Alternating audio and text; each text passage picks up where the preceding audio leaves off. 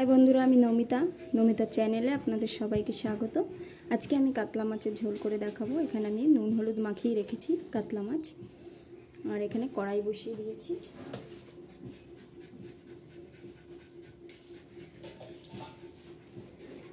দিয়ে দেবো তেল।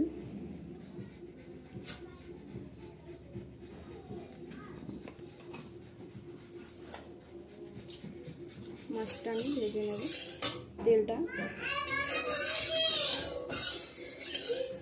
তেলটা খুব ভালো করে গরম হবে।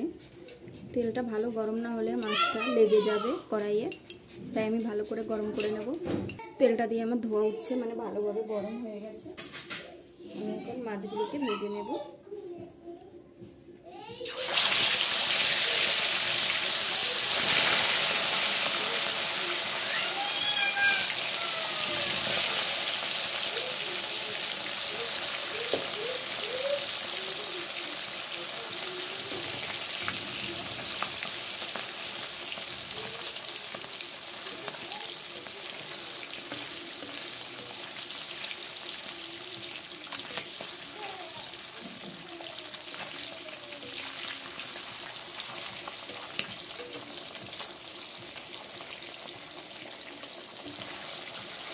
হালকা করে একটু উল্টে দেবো।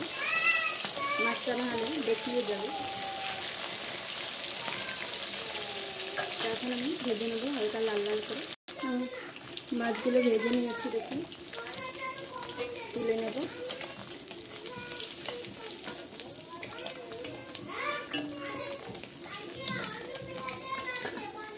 মাছটা তেলটা গরম হলে মাছটা খুব সুন্দর ভাজা হয়। একদম কড়াইয়ে লেগে যাবে না। আমি এখন কড়াইয়ে দিয়ে দেবো কালো জিরে।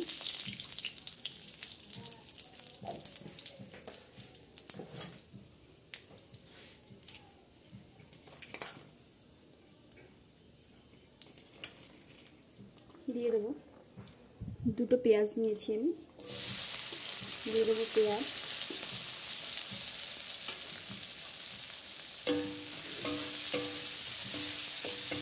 দিয়ে দেবো পেঁয়াজের ভিতরে একটু নুন। নুনটা দিলে খুব সহজেই পেঁয়াজটা মজে যায়।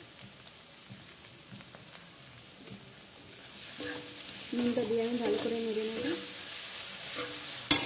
দিয়ে দেবো আলু টুকরো করে রাখা। নুন হলুদ মেখে রাখিয়েছি।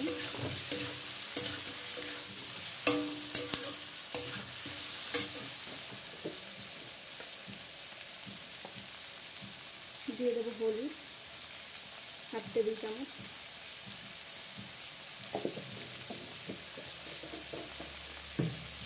আমি আরও একটু নুন দিয়ে দেবো।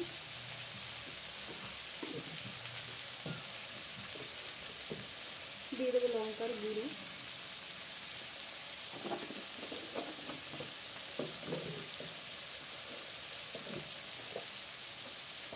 দিয়ে দেবো জিরের গুঁড়ো।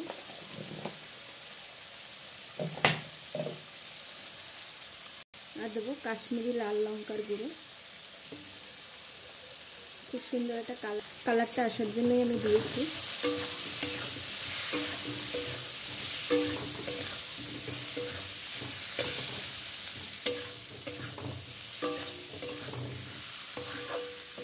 আমি কষিয়ে নেব এখন ভালো করে।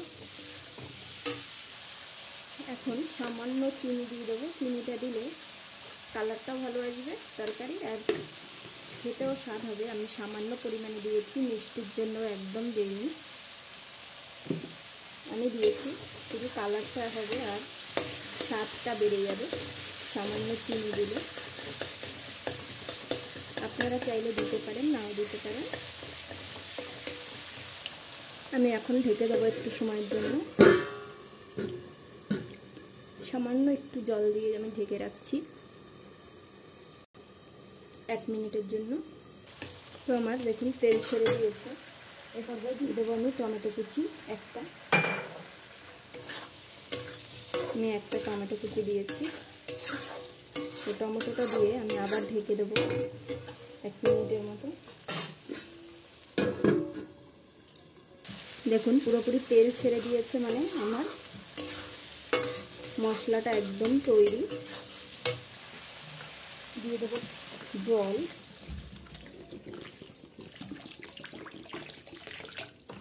আমি একটু ঝোল রাখব যেহেতু। জলটা দিয়ে দিচ্ছি পরিমাণ মতো।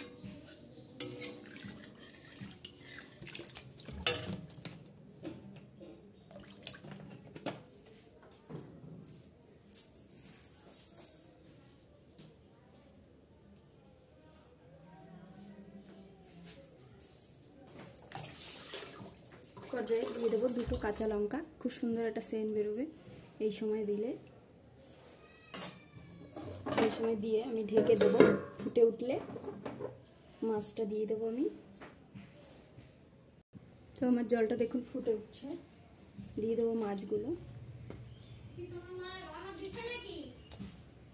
আমি জলে ডুবিয়ে দেবো। ঝোলে।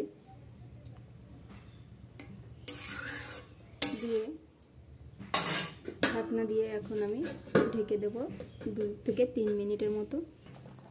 তো আমি ঢাকনা খুললাম। পর্যায়ে দিয়ে দেবো ধনে পাতা কুচি।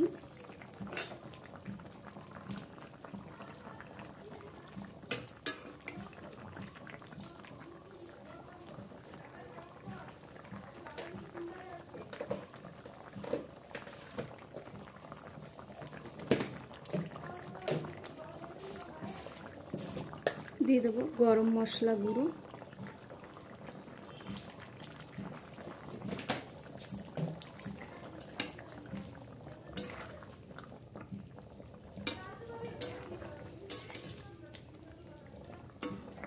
আমি নুনটা দেখে নেব।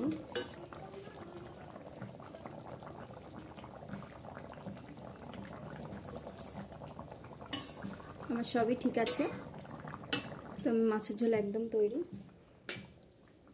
এখন আমি, আর একটু ধনে পাতা দিয়ে ঢেকে দেব।